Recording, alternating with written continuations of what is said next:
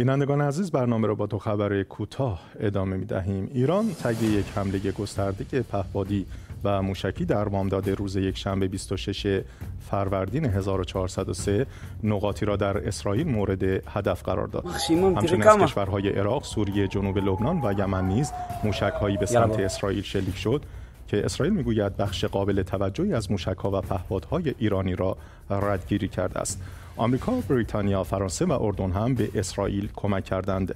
تصنیم در واکنش نوشت که پدافندهای کمکی آمریکا، فرانسه، انگلیس و اردن در حمله به نقب نتوانست مانع اصابت موشکهای ایران شوند.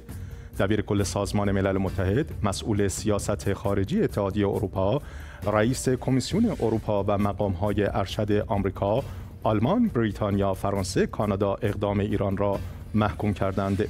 چین، عربستان سعودی و مصر بدون محکوم کردن ایران نگرانی عمیق خود را از افزایش تنش میان ایران و اسرائیل ابراز و از همه طرفین درگیر خواستند که تا نهایت خیشتنداری را نشان دهند.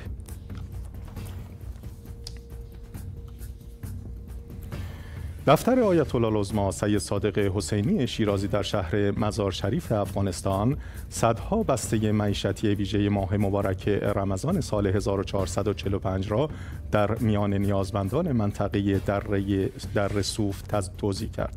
به گفته مسئولان دفتر صدها بسته کمک معیشتی به دست خانواده های نیازمند، ایتام و بی سرپرست در این شهر رسانده شده است.